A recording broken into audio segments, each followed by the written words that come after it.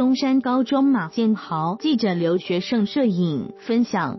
复赛前换了两名球员，HBL 南甲及卫冕军松山高中复赛第二战，防守大将黄兆玄又发生左肩脱臼意外，但教头黄万龙强调球队全员皆兵，松山都是战将，不管谁上场，就是从防守做起。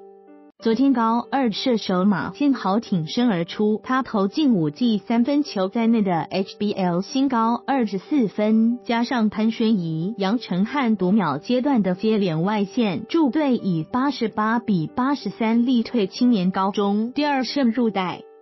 小马有球技，有身高，没教练，有 NCAA 潜力。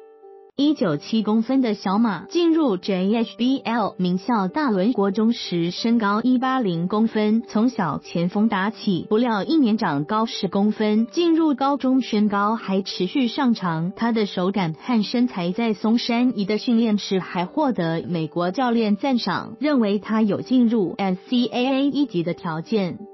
黄万龙盼爱将更积极，球技可教，心教不来。马建豪透露，平时练完球就会和杨晨汉留下来苦练外线，但他也承认自己防守有很多进步空间。我是球队防守最差的，每次被骂都是先被说到防守。黄万龙则说，高二的马建豪还需要更多经验累积，他的个性可以再积极点，球技我可以教，但心教不来。嵩山高中后卫林立左记者留学生摄影分享分享，没有高国豪的日子，嵩山还在习惯。黄万龙也提到，所有人都要习惯没有高国豪的松山球员要适应，我自己也一样。过去太依赖他，高国豪他笑说，连观众都要适应现在的松山。过去三年松山很少输球，现在球员要从过程中学习，但松山不会因为高国豪就不是松山。